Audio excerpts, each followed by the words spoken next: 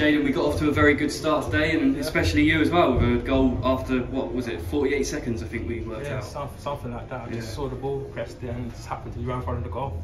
Yeah, and you you know you were pressing hard throughout the game. Is that something that you've been working on through pre-season and, and previously? Is that what the gaffer wants to, to happen? Oh, that's just me naturally. I've Yeah. just been doing it from a young age, and I just when I just see it, I see, it, I just press, and I, I just get the license to press when I can.